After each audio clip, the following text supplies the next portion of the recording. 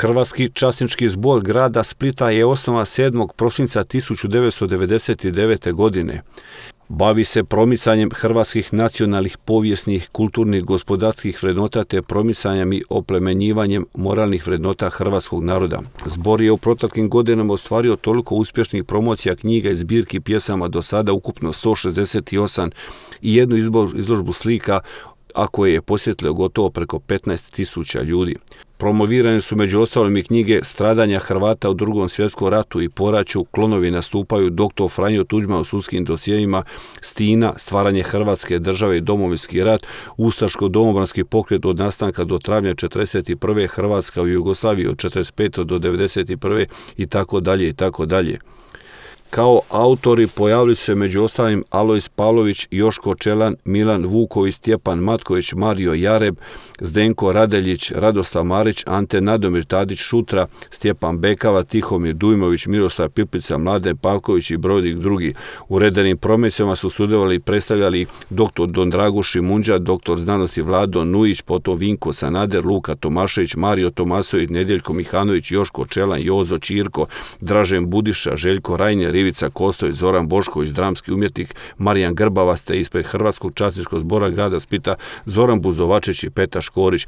Također navedenim promocijama u pogledu scenskog nasupa sudjelovali su i muška klapa Decima, potom Papa Bent Solin, te Tenor Špiro Boban i maestro Vlado Vuletin, dok je Hrvatski časnički zbor grada Spita za svoje sudjelovanje u pogledu ovih projekata dobio i pisanu potporu biskupa Ratka Perića, biskupa Mile Bogovića i muftije Šefka Omerbašića. Također, zbor je u vlastitoj nakladi tiskao pet naslova.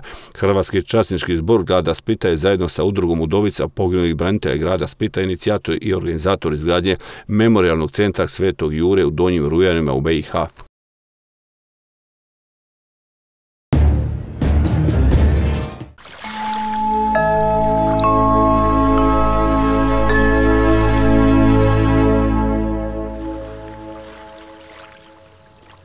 Ključ ekspert kralja Zvonimira 103. Najmodernija radnja specijalizirana za izradu ključeva za stan, sef, potom za automobile, motocikle, brodove, autobuse, kamione te specijalne i kodirane ključeve.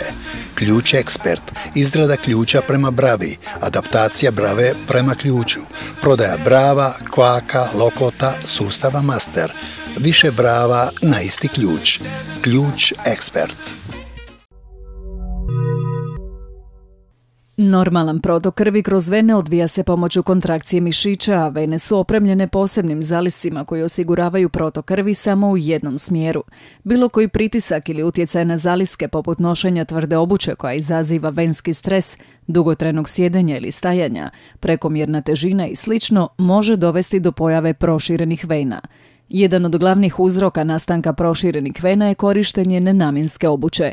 Iz tog razloga tvrtka Dr. Luigi proizvela je John za amortizaciju venskog stresa, koji spriječava nastanak proširenih vena na donjim ekstremitetima i omogućava nesmeta rad venskih zalisaka pri hodanju i stajanju.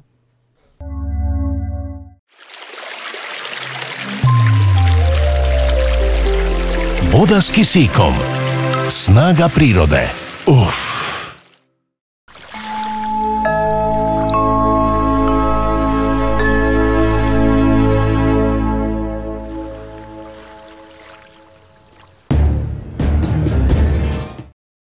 Cijene gledateljice, poštovani gledatelji, dragi hrvatski branitelji, obitelji poginulih, umrlih i nestalih hrvatskih vitezova, lijep pozdrav, poštovanje. Dobrodošli u 282. emisiju na prvoj crti obrane jedine domovine Hrvatske. Ja ćemo pričati o Hrvatskom časničkom zbroju, pričat ćemo e, o zboru, pričat ćemo o nadolazećem e, blagdanu, nadolazećem e, praznicima, nad vodećim obljetnicama i devete bojne HOSA i četvrte gardijske brigade. Ovo je vrijeme kad e, upravo igra naša nogometa reprezentacija na našem splitskom poljudu. No jasno vi ćete našu emisiju ukoliko ste se posvetili našim reprezentativcima, a vjerujemo da jeste, gledat ćete jasno u našim repriznim emisijama. Već i naš gost je i predsjednik časničkog zbora grada Splita, ali i pripadnik e, i devete bojne HOSA u, tom ratnom vihoru i četvrte gardijske brigade on je umirovljeni pukovnik pobjedničke Hrvatske vojske Dragan Grabovac. Pukovniče, dobroveče, poštovanje. Evo, mi u uvodu sam vas predstavio, ali zaželili smo sreću u internucima našoj reprezentaciji, a na kraju emisije imamo jedan specijalno izrađenje, imamo kratke izjave o čemu se radi. Evo, poštovanje, dobrodošli. Mm, dobroveče vama, pozdravljam vas i sve u, u režiji, posebno hrvatske branitelje i stradalnike Domovinskog rata. E, Dragan, evo, znamo se dugi niz godina, u nekoliko navrata smo dogovarali emisiju, pa evo, došao je red i na vas. Pa je, evo, već neko vrijeme, duže vremena se poznamo. Znamo mi osobno mi je drago i čast mi da mogu sa vama biti večeras ovdje i reći naravno sve ono od devetobojnog osa Hrvatskog čaškog zboru, četvrgarskoj brigadi i svi e, Dragane, kad s vama priča nekako mi je i kad vas vidim, kad vas sretnim, kad se zajedno družimo s našom ekipom, nekako mi je u glavi ona jedna predivna, jedna od najljepših dana našeg života kada smo 16 studenoga u Pakoštanima u mjestu našeg dišnog generala Ante Gotovine zajedno bili i tu smo čekali onu oslobađajuću e, presudu i to su bili zaista emotivni trenuci. Pa vidite, e, ti dani ponosa i e, pogotovo budući da osobno i znamo našeg generala Gotovinu, i sve te naše branitelje. Znali smo konačni ishod koji, bi, koji će biti, no međutim samo pitanje, bilo je pitanje vremena. Taj datum je, upisat će biti sigurno u povijest hrvatskog naroda, jer to je nešto dosanjeni san svih e, stoljećima, svih Hrvata koji su bile, koji nisu imali, nažalost, nisu imali sreću imati dosanjati taj san hrvatski. Da, e, ajmo kratko, e, evo u par rečenica, mada bismo mogli cijelu emisiju posvetiti, ali ćemo kroz emisiju proći i časnički zbor i devetu bojnu kose i četvrtu gardsku brigadu. Kratko, kad se sve uključuju rat i koji su to bili dani u par rečenica? Pa vidite, sami, e, sami početcima 90. godina mi smo znali da će e, prije ili kasnije do ovakvih e, doći iz razloga toga što nikada e, znači, naši djedovi, pradjedovi, očevi, svi smo željeli imati našu, našu državu suverenu, samostalnu. Tih, tih dana, ovo sami početak 90. godina, 91. godine nije bilo bili smo dragovoljno javili se, međutim nije bilo tu tada ni naružanja, ni opreme, ništa budući da je bila teritorijalna obrana, bila je e, razrožena. Međutim, e, ja sam e, na poziv svojih suboraca, prijatelja u to vrijeme prvi šestog, odnosno već prvi sedmoga 1991. godine sa tadašnjim, sa, stupio sam e, u kontakt sa, e, sa devetom bojnog osa. E, to je jedna hrvatska posroba koja je, znači, iz sami dana. Znali smo danas šta će biti i šta nas očekuje, pa smo svi mi zajedno, ta omladina, mladost, išli smo, svi mi koji smo imali neko predznanje vojničko, radili smo E, u samim pripremama kako fizičkim, e, tako i na, u pitanju naoružanja i opreme kako bi mogli ovaj, se može bitno suprostaviti ono neprijatelju koji je to vrijeme već debelo počeo na samih balvana, balvana revolucija i tako. Sad, e, bio sam aktivan, ostao sam do, do 2005. godine kad sam otišao u mirovinu. Znači, sa devetom bojnom ostao sam prošao e, znači 91. godinu. Nakon 15.1.1992. godine, nakon, nakon priznanja. E, samostalne neovisne Republike Hrvatske, deveta bojna hosa je se i službeno ugasila. Jedan dio pripadnika devete bojne hosa je otišao po dragim raznim postrojbama, a ja sa većinom pripadnika devete bojne hosa sam se pridružio četvrtoj gardijskoj brigadi. Ovdje bih htio naglasiti da deveta bojna hosa nikada nije sudjelovala samostalno. Ona je uvijek bila u sastavu u sastavu i u, sa četvrtom gardijskom brigadom, to su četvrtom brigada zbora Narodne garde, gdje je tadašnji zapojnik, e, danas nažalost pokojni Jozor Adanović, je naravno bio sa zapojenikom četvrte gardijske brigade u to vrijeme i nažalost i danas e, znači general Ivo Jelić. Tako da sve akcije i sve ratne bili su u, onaj sa četvrtogardijskom brigadom. I poslije u sastavu 114. Jedan dio pripadnika e, i devete bojne hosa je otišao naravno po postrojama, je otišao u 126. brigadu, je ostao u 114. brigadu i jedan veći dio išao je u 114. brigadu gdje je kasnije nastavio e, svoj ratni put uh, pod, kada je zapovjedanje pod gospodinom Markom Skejovom pokojnika. Da, vjerujem, kažete i da ste puni ponosa na sav ratni put i jasno E, i kao pripadnik i devete bojne hosa i kasnije četvrte gardijske brigade. Evo, bliže nam se ti blagdani te proslava i jedne i druge vaše postrojbe u mjesecu travnju. Da. Pa vidite, sa devetom bojnom hosa bili smo, e, znači, e, dođemo na poziv tadašnjeg zapojnika devete bojne hosa Jezera Danovića i u, dogovoru sa tadašnjim zapojnikom Zbora Narodne garde četvrte, gospodinom Jelićom, mi smo bili smo, s obzirom da je već bio Dubrovnik i Dubrovačko primorje dole kompletno već, mi smo bili upućeni e, na Dubrovačko ratište. E, Dubrovnik u to vrijeme bio okružen. Tada smo, išli smo do Stona. Od Stona smo išli E, brodicama do otoka Šipana. Sa otoka Šipana bili smo sa opremom i naoružanjem koje smo tada imali, a nije to bilo, Bog zna kako naoružanje i oprema koje smo u to vrijeme imali. E, sa otoka Šipana smo krenuli e, gliserima koji smo u to vrijeme, naši privatnici koji su nam to vrijeme omogućili da imamo gliserima, nevrijeme, ono, nevjerovatno. Ko... Da, to govorimo kraj 11. mjeseca. Tako je, tako je, da, od kraja 11. mjeseca, Od koju, ispričavam se, e, pukovniče, o kojem broju ljudi radi se tad, gdje ste vi bili zapovjednik? Koliko je tad bilo pripadnika 9. vojnih osam? E, tada je bilo, koliko se sad sjeća na 64 čovjeka koji smo... Vi ste bili zapovjednik? E, ja sam, dodijeljeno bilo meni zapovjedanje, odnosno bio je zapovjednik voda, bio je pokojni Slaven Zec. Zec. Tako da smo bili u dva pravca smo bili.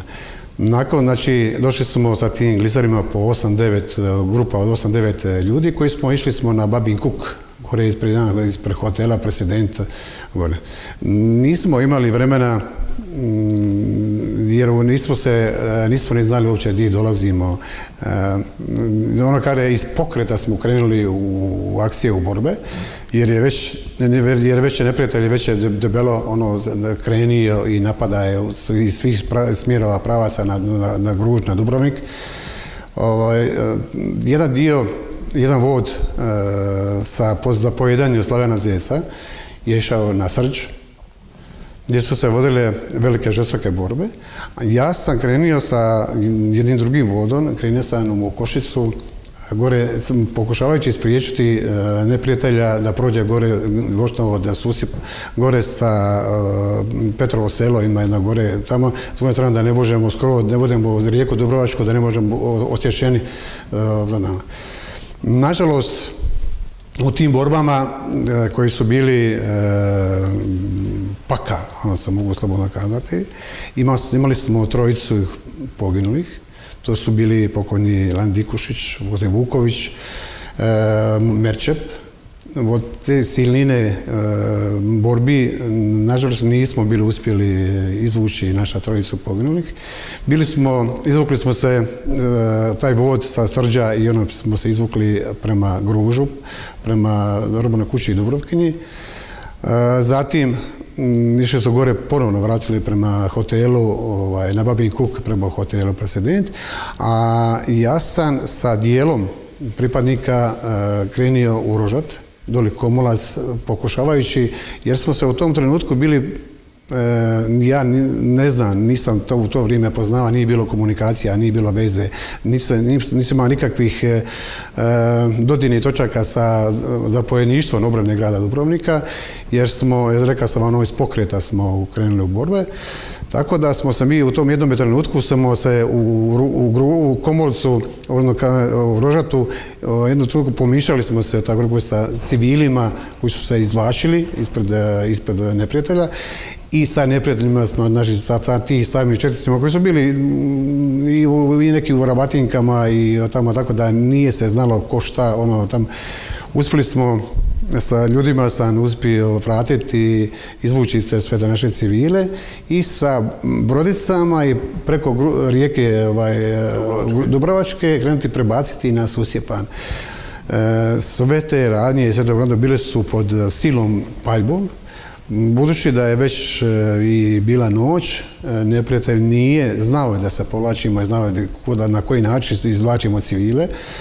E, garantirali su, vidio sam, to sam znan, u kojem ratu su bili sa minobacačima, su tukli Susipan, tako da smo, evo, hvala Bogu, nismo, nije bilo ovaj, poginulih, nismo imali ranjenih, a uspjeli smo zateti, znači, sami prolazak, dolazak e, na Susjepan i kretanje prema, prema Gružu i vidite sve gori e, ne vidi se ono kar je ništa osim od... Da, napada, Drago, iz pravca Bosanke, Trebinja, s mora, s kopna, iz zraka, pravi metež je bio.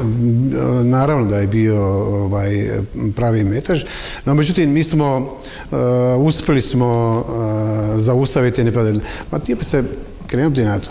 Znači, ta priča e, crnogorska, odnosno neprijateljska, koja je bila, oni su mislili, oni su, kad su oni krenuli, oni su mislili da, ćemo, da će se hrvatska vojska, hrvatske branitelje, da će se mi povući, da se mu osjeti ono, da oni njihovo topništvo i njihova premoć u naoružanju i opremi. No, međutim, oni su, nisu znali da smo došli mi iz devete bojne hosa, koji dajemo njima ispred sebe i tu smo, naravno da smo im pružili veliki e, otpor i koji oni nisu očekivali, oni su njihova demagogija, bili su rekli da, oni su mislili da jedna e, njihova, ta, mislili su da je ispred njih e, jedna, jedna crna legija e, dobro uvježbanih i dobro opremljenih. Znači, tako je, oni su na taj način su, ovaj, oni su to mislili što je išlo nama u prilog, oni nisu znali s kojim prirodom, s kojim brojnim sranjem mi raspolažemo na ovoj strani. Doista malo, mi smo već imali slaba je nam bila već popuna naoružanja i opreme, već sredljiva ona je ponesajalo. E, ja sam nakon što smo povukli ljude, e, reka sam na Babi Kuk gore na, u taj hotel, ja sam krenio do u grad vidjeti, tražiti za, za, zapojeništvo ovaj, opravne grada Dubrovnika, tada je bio gospodin pokojni Nojko, general Nojko Marinović. I tražio sam da popunu naružanja i opreme slijedao tako da sam, ali e, nije bilo mogućnosti ni veze kako bi mogao stupiti sa kontakte sa Splitom, odnosno zapojnikom devete bojne hosa jer je sam mora izvijestiti znači e, zapovjednika i isto tako zapovjednika četvrte gardijske brigade, odnosno četvrte brigade zbora Narodne garde u to vrijeme. Tako da sam e, otišao kod gradonačelnika Dubrovnika u to vrijeme, koji je imao mogućnost, ima neki satelitski telefon, e, na taj način sam stupio u kontakt sa generalom Jelićom, ovaj, koji mi je isključio, izvijestio sam ga o situaciji u u kojima se nalazimo i dobio sam zapovjed tada da na bilo koji način, kako god znam i umijem, da moram izvući ljude, e, vratiti nazad ljude u, e, Ston, da će, da će nas čekati se autobusi, da će nas čekati u Stonu. E, mi smo u tom, već je bilo, govorim već mrak, noć, e, neki moji djelatnici, odnosno kolege branitelji, bili su, e, nismo mi, ja sam ono kare i moćani i ono ja ne znam u brodovima, tako. Međutim, neki su bili pomisli da bi mogli imate remorker, čak da bi ga remorkerom se prebacili do, do, do, do otoka Šipana, međutim to je bilo, suludo bili bi laka meta topovnjačama neprijateljskim i tako. uspjeli smo Uspjeli smo se e, naći neki turistički brod koji je, bilo nas je, ukrcalo se još nekih dečki koji su, naših e, suboraca koji su bili već doli pod e, Omišani, bilo je neki četrdesetak djelatnika, pripadnika iz Omiša koji su bili već doli, tako da smo se mi oko 120 i nešto je nas bilo koji smo na tome brodici turističkoj koji smo polagano noć e, tamo uz obalom uspjeli smo doći do otoka Šipana. E, sa otoka Šipana vratili smo, uspjeli smo doći do Stona i tada smo vratili se u Split. Htio sam e, ovdje još reći, znači, e, Dubrovnik, kao Dubrovnik, Mm, došli smo, nismo imali nekih tamo, mi, oni su, ti mm, tih Dubročani su, slušali su te crnogorske, tamo, misleći da su tu doista crna legija, kako su to tamo rosli, ima sam osjećaj u to vrijeme da nismo dobro došli na taj način, jer... Da, nasjeli su na provokaciju slušajući crnogorske i srpske, prosrpske medije. Tako je.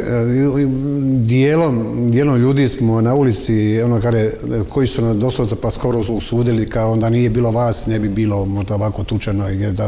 Ali mm, oni ipak nisu znali pravu istinu. Mi smo, ovaj, evo, i to je prošlo tako da Hrvatski osloboditelji.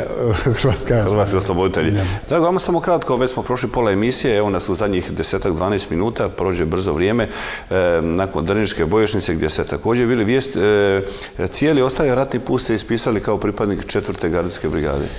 E, kao pripad, već, mi smo na povratku iz Dubrovnika, mi smo krenuli, dobili sam novu zapovjet da sa ljudima idem u Unešić, da je postojala mogućnost da bi se, gore sam se pridružio četvrtoj, brigadi, četvrtoj bojnoj. U to vrijeme je bio, zapovjednik bojne bio Damir Krstičević.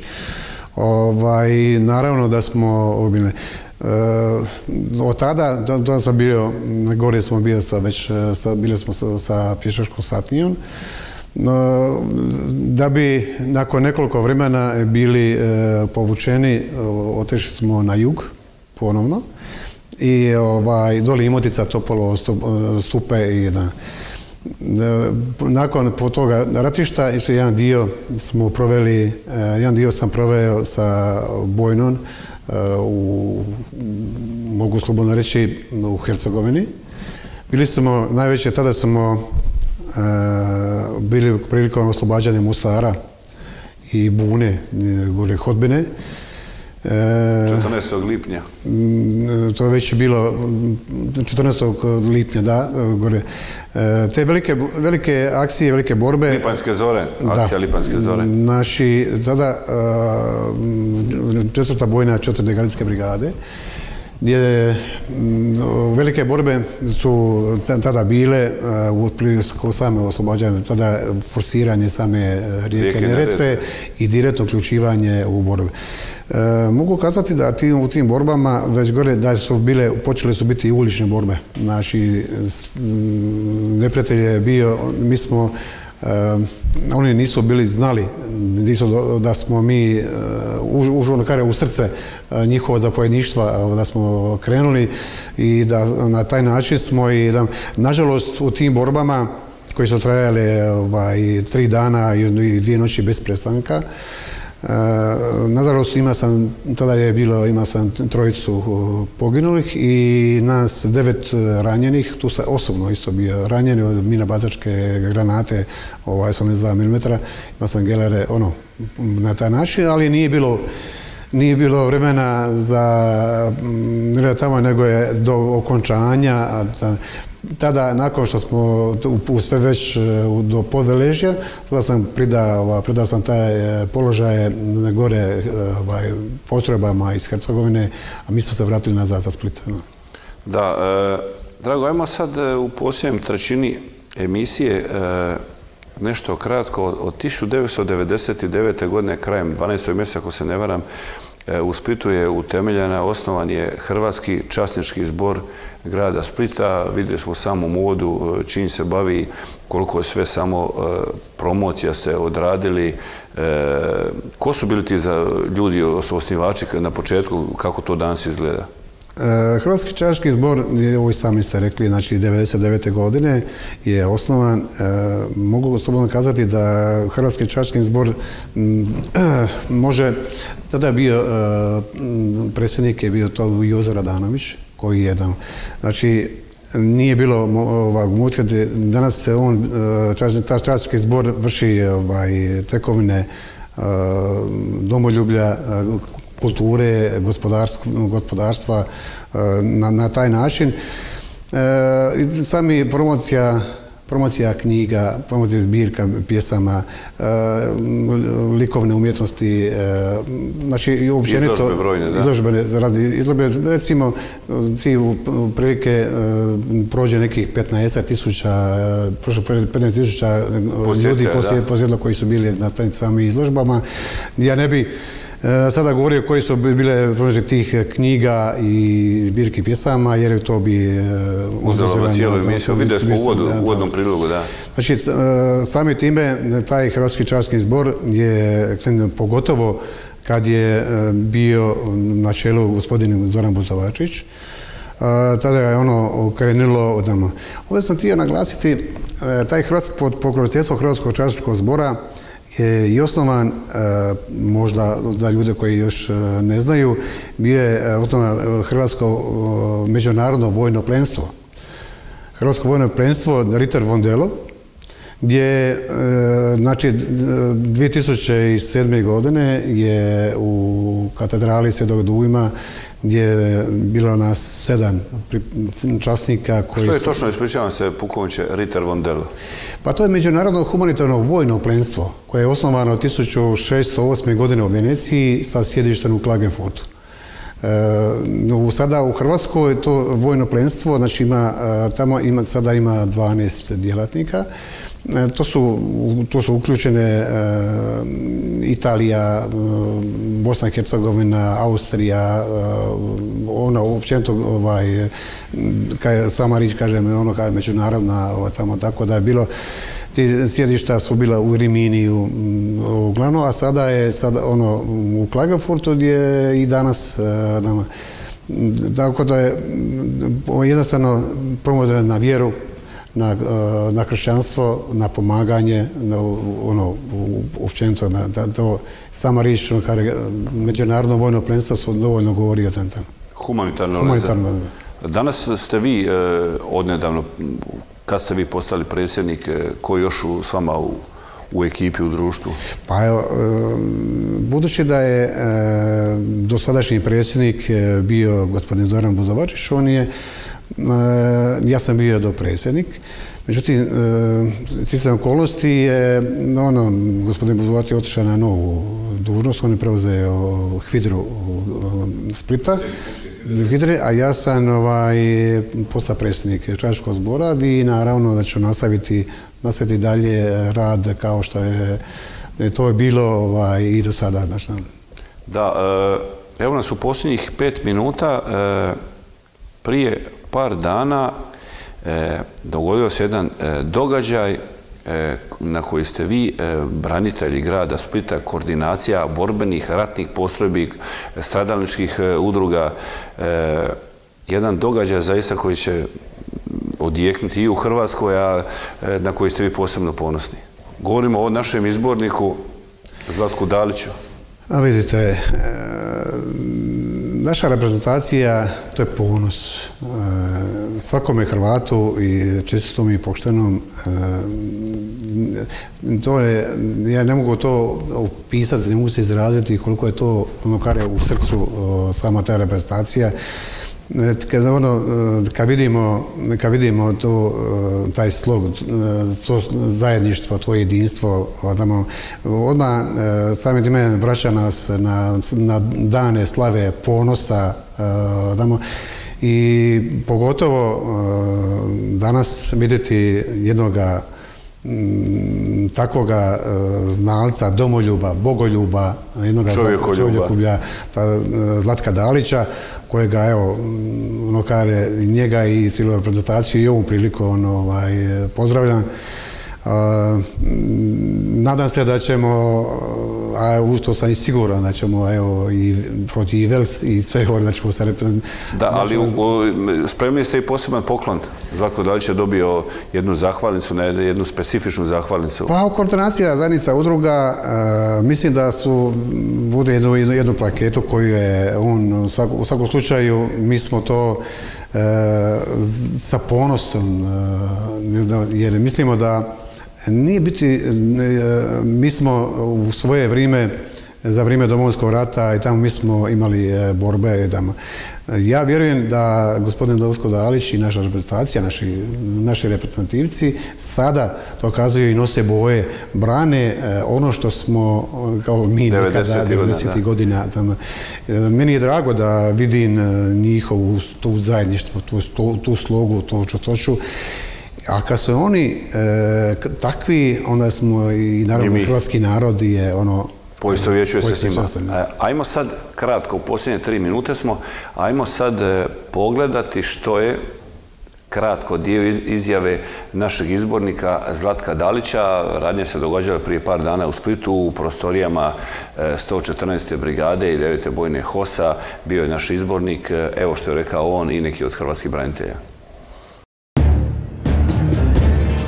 Hvala braniteljskim udrugama veteranima Domovinskog rata u Splitu, e, svima koji su mi dali to priznanje. Evo, zaista meni to jako puno znači, na to sam ponosan i evo, jedno je veliko zadovoljstvo i mislim da je hrvatska reprezentacija ono što treba biti, okupljanje e, hrvatskog naroda, hrvatskih navijača, zajedništvo i to ono što mi stalno propagiramo nastojimo da kroz svoje rezultate, kroz svoje utakmice to opravdamo i evo, veselim se utakmicama u Splitu i da ćemo imati veliku podršku. Hrvatska reprezentacija danas među hrvatskim narodom potiče one odlike koje su krasile hrvatske branitelje za vrijeme Domovinskog rata. Samo prijegor, zajedništvo i ljubav prema hrvatskoj domovini. Upravo zato mi, hrvatski branitelji grada Splita i Splitsko-Dalmatinske županije, udjelili smo mali znak pažnje onome koji je najzaslužniji za to, a to je izbornik naše hrvatske reprezentacije, gospodin Zlatko Dalić. Pa evo, podnosim se što smo na današnji dan organizirali druženje svih ratnih postojevi i stradalničkih udruga sa našim bratom Zlatkom Dalićem, koji je ponovo u naš hrvatski split doveo našu najdražu reprezentaciju. Smatramo da ono što smo mi radili u ratu, da to naš izbornik radi u miru, i ništa ne može ujedini hrvatski narod ko što je nas ujedinilo 90. godina ljubav prema domovini, isto tako sada on to radi kroz ljubav prema našoj reprezentaciji.